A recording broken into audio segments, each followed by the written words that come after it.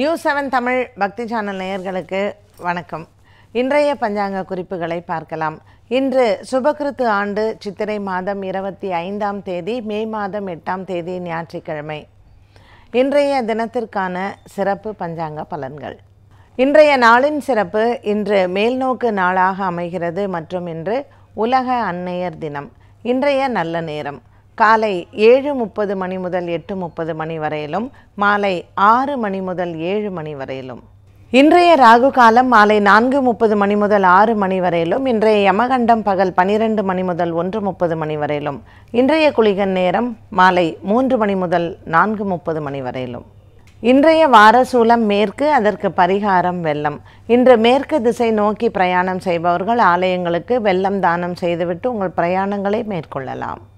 இன்றைய திதிகள் பகல் இரண்டு பதினெட்டு மணி வரையிலும் சப்தமி அதற்கு மேல் அஷ்டமி திதி. இன்றைய நட்சத்திரங்கள் பகல் பனிரெண்டு இருபது மணி வரையிலும் பூசம் அதற்கு மேல் ஆயில்யம். இன்றைய யோகம் இன்று நாள் முழுவதுமே சித்த யோகமாக அமைகிறது. இன்றைய சந்திராஷ்டம நட்சத்திரம் பூராடம்.